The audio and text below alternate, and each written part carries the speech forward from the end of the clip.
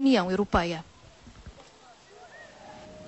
Foi da melhor maneira que começaram as férias de oito alunos de um colégio de Braga que conseguiram chegar ao 20, neste caso aos 20 valores nos exames nacionais do 12º ano, entre os quais o de matemática. Estudantes, pais e professores dizem agora que o segredo foi o trabalho e a forma como a escola os preparou para o momento decisivo.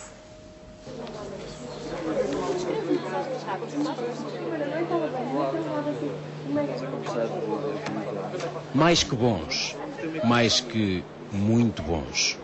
Alguns destes alunos vão estar daqui a poucos meses a entrar no curso universitário que quiserem. Nos exames nacionais de Matemática, Física e Química conseguiram médias que chegam aos 20. Até parecia fácil.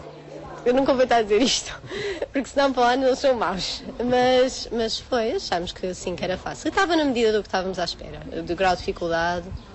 Já era de esperar. Portanto, já se sentiam preparados. Sim, acho que sim. Isso deve-se muito ao esforço do nosso, dos nossos professores e isso é muito importante.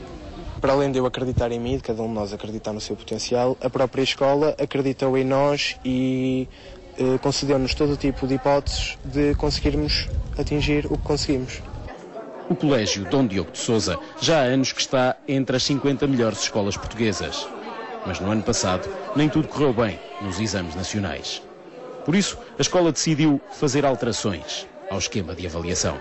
Uma delas foi preparar os alunos fazendo os testes ao sábado, nomeadamente a matemática, a física e química, com as, enfim, o mesmo, a mesma duração dos exames nacionais.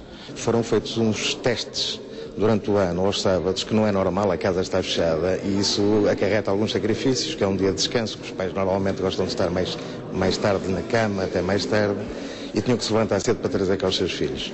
E todos aderiram a essa iniciativa do colégio, sabendo que os resultados iriam ser estes, com certeza.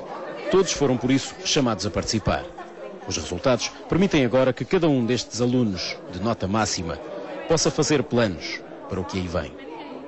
Desde pequenino, sempre quis ser médico, sempre foi um sonho que tive e estou mesmo à beira de o, de conseguir alcançar. Estou muito contente.